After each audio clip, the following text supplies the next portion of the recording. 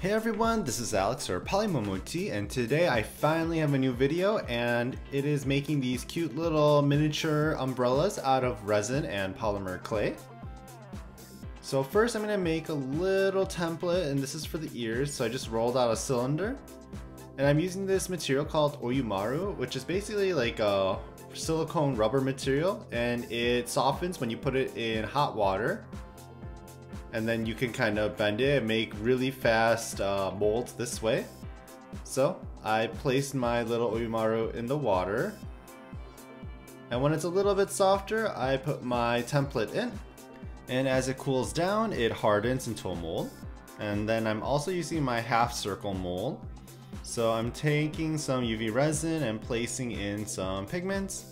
So first I'm going to do some blue and I'm gonna place that into my mold and then let it cure under the light. And I'm gonna pour the blue mixture into our homemade mold and this will be for the little ears of the umbrella. So once the resin has cured, we're gonna take it out of the molds. So first, we're gonna place on some resin and place on our little ears and let that cure under the light and we have our little bear head shape. Next we're going to make the umbrella handle, so I'm just taking some wire and I'm placing some clay at the end. And I'm just going to roll it a little bit to make it into a snake. And I'm just going to bend it into a U or J shape and cut off the excess. And I made four different handles that way. And I'm placing some UV resin into our little umbrella and placing the handle in there and letting it cure Next, for the bear nose, we're going to take some white clay and flatten it out and place a little light mint clay circle on it for the little nose itself. And we're going to glue that onto our umbrella. And we're going to glue on some dot eyes.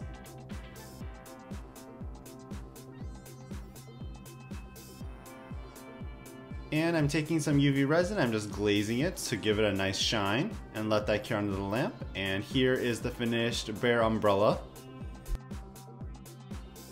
The next umbrella we're gonna make is the giraffe one, so I'm gonna add some yellow pigment into our resin and pour that into our mold.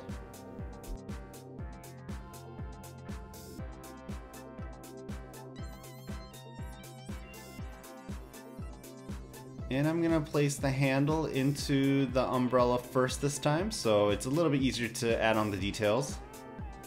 For the ears, we're to take some yellow clay and pinch it into a diamond shape and cut off one end. For the little head knobs, we're going to take some yellow clay, roll it out into a snake, cut it into a small segment, add some brown clay on top and roll it together. And we'll make two of those as well. For some extra added fun, I'm taking some brown clay and I'm cutting out little pentagon shapes as well. And then for the little snout, we're gonna take some tan clay and add two little dots. And we're gonna glue that onto our umbrella.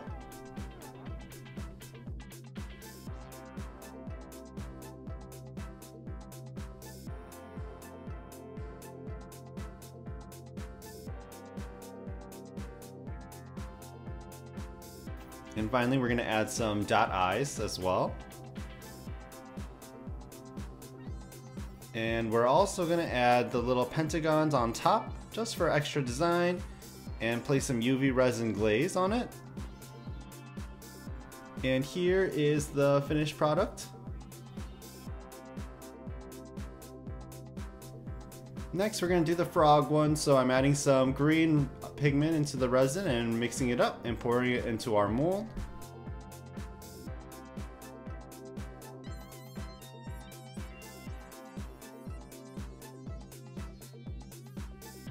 Next we're going to add the handle into our umbrella. And using our handmade mold, I'm pouring some UV resin into it to make the little eyes for the frog. And we're going to add that to the top, kind of towards the top center.